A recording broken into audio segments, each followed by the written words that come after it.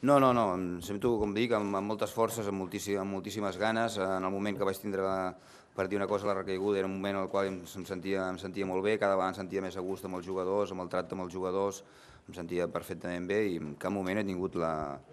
el pensament de, de deixar-ho. De reconèixer que el dia que tenim dos, dos dies de festa i estic els dos dies a casa, la veritat és que no sé ni què fer, que m'avorreixo, és la meva vida, és el que, el que em diverteixo, eh, ho he dit, ho he dit moltes altres vegades, i que a mi aquesta feina no és, per mi mai ha suposat una càrrega ni una pressió. Uh, ho dic d'una manera molt i molt natural i tot el contrari, vull dir, és que no,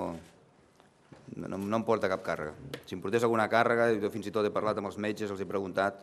tant com ho vaig fer en el seu moment aquí a Barcelona, ho vaig fer a Nova York i em van dir si hi havia algun problema perquè estigués treballant, i al contrari, em van dir que el millor que podria fer era treballar, i per tant jo estic encantat. Uh, si no hubiera tenido que estar en Nova York por una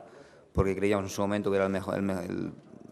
que lo teníamos que hacer allí, pues seguramente hubiera venido a, los entrenamientos, no hubierais visto en los partidos y prácticamente no hubiera fallado ningún día, porque yo me encontraba perfectamente. Uh, me permitía, como dices tú, trabajar durante horas al día, como me permitía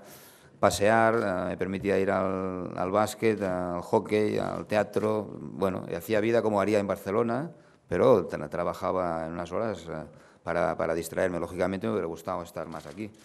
Pero sabía que no, no podía ser. Desde allí, dentro de lo posible, intentaba, intentaba, intentaba ayudar. La cantidad de horas que normalmente pasamos en el despacho uh, no solo son la hora de, de, entrenamiento del campo, hay muchas horas de, trabajo delante del ordenador, despacho, en eso se intentaba, intentaba hacerlo.